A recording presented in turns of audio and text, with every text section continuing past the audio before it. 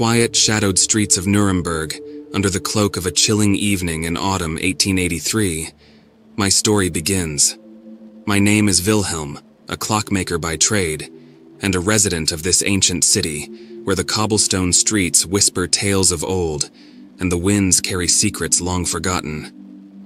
It was on such an evening, precisely at dusk, when the boundary between day and night blurs into a realm of twilight, that my ordinary life was eclipsed by the extraordinary, pulling me into depths unknown.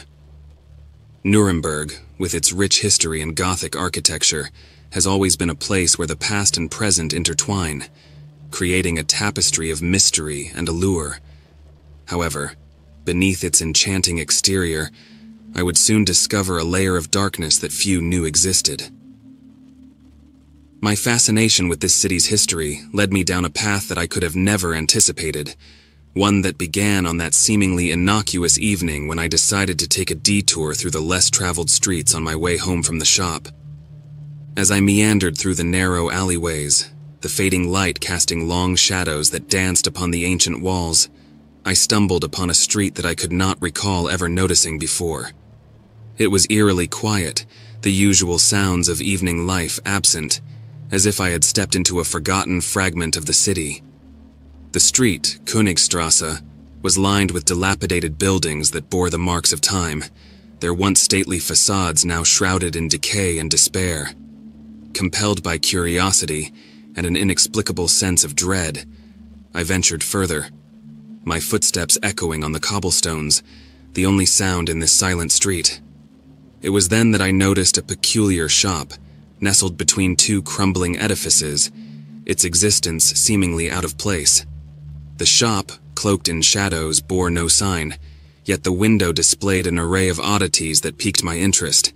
Ancient tomes bound in leather, curious artifacts from distant lands, and mechanical devices of intricate design.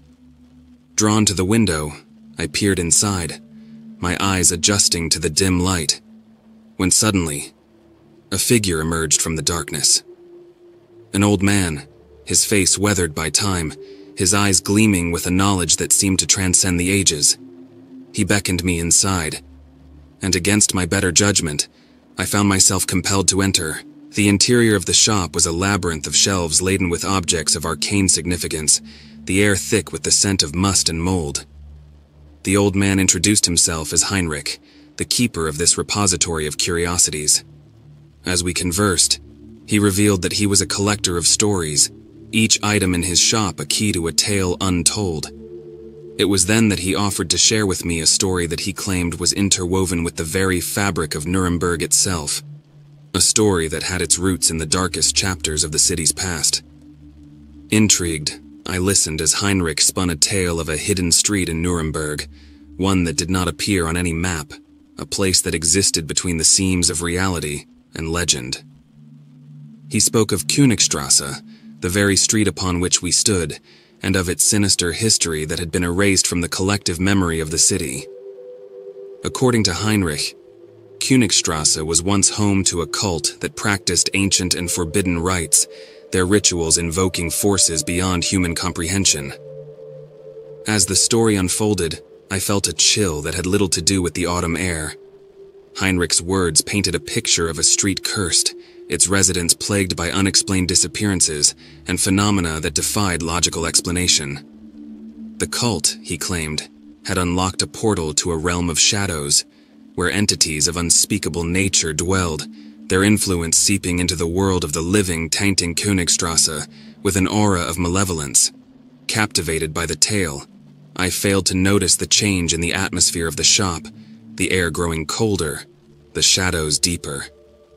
Heinrich's voice became a whisper, his eyes locking onto mine with an intensity that bordered on fanaticism.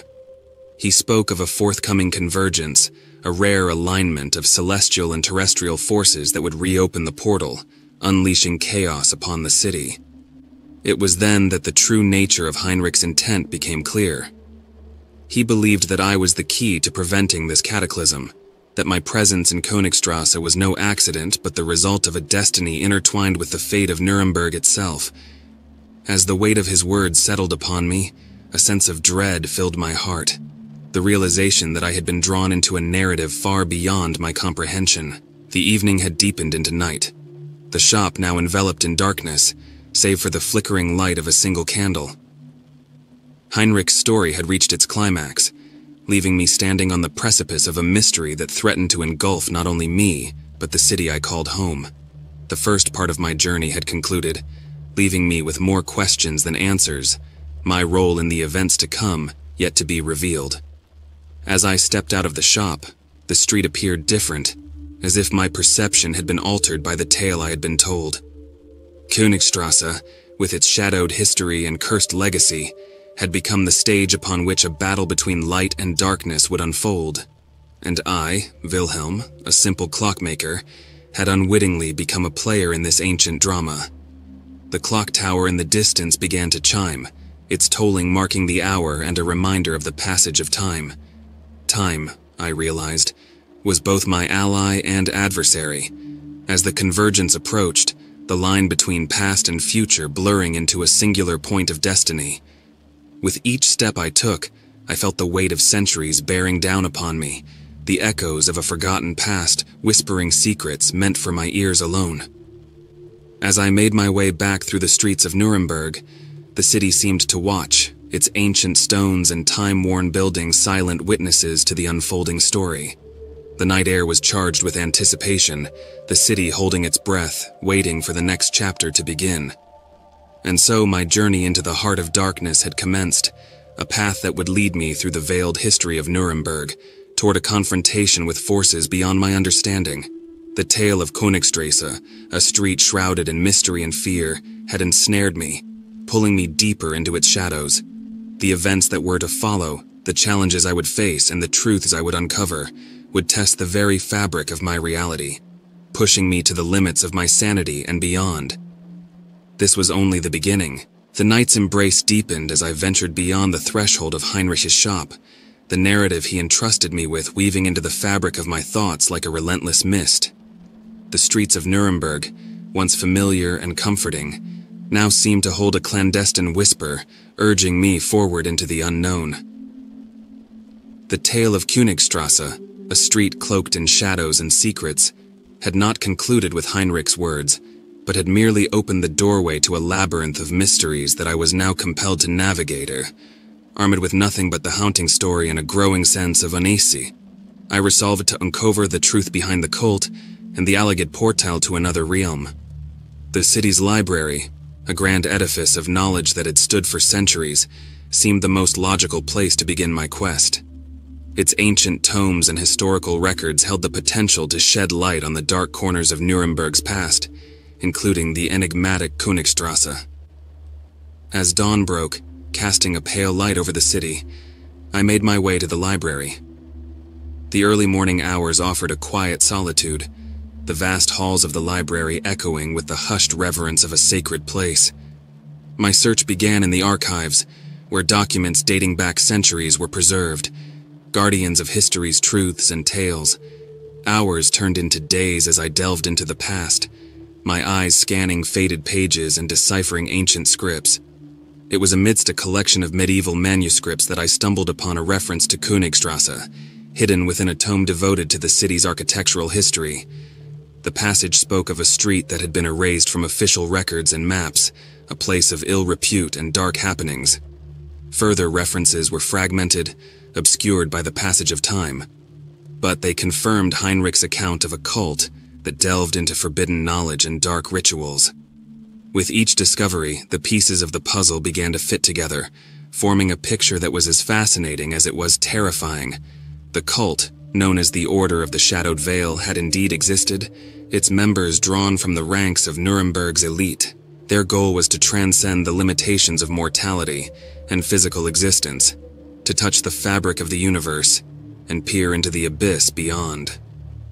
The convergence Heinrich had spoken of was not merely a tale to chill the bones, but a celestial event of significant power, one that the Order had sought to harness to open the portal. According to the manuscripts, the last attempt had been thwarted, but at a great cost. The street had been cursed, its very existence wiped from the city's consciousness. And yet, Königstrasse persisted, a scar upon the landscape of Nuremberg. My research had drawn the attention of others, scholars, and historians intrigued by my inquiries. Among them was Elizabeth, a young academic whose expertise in the city's esoteric history proved invaluable. Together, we uncovered a map, hidden within a secret compartment of a 16th century desk, which detailed the precise location of Königstrasse and hinted at the existence of a subterranean chamber beneath the street, where the portal was believed to be located. The realization that we were on the brink of uncovering a truth long buried was exhilarating and daunting. Elizabeth and I prepared to explore Königstrasse under the cover of night, equipped with the map and a determination to face whatever secrets lay hidden. As we made our way through the deserted streets towards Königstrasse, the air grew colder, the shadows deeper. The street itself seemed to repel the light, enveloping us in darkness as we searched for the entrance to the underground chamber. It was Elizabeth who found it, hidden beneath the roots of an ancient oak, a stone doorway leading down into the earth. The descent was treacherous, the steps worn by time and neglect. Our torches flickered against the oppressive darkness, casting eerie shadows on the walls of the narrow passageway. The chamber at the end of the descent was vast, the air heavy with the scent of damp earth and the weight of centuries. In the center of the chamber stood an altar, carved from black stone, its surface etched with symbols that seemed to shift and writhe in the torchlight. The air around it thrummed with an unseen energy, a palpable force that made my skin crawl. It was here, Heinrich had said, that the portal would be opened, the convergence of celestial and terrestrial energies creating a bridge to another realm. Elizabeth and I stood before the altar, the reality of our situation settling upon us. We were standing on the precipice of the unknown, the fate of Nuremberg, and perhaps the world, resting in our hands. The convergence was imminent, the alignment of stars and planets aligning to unleash powers beyond comprehension.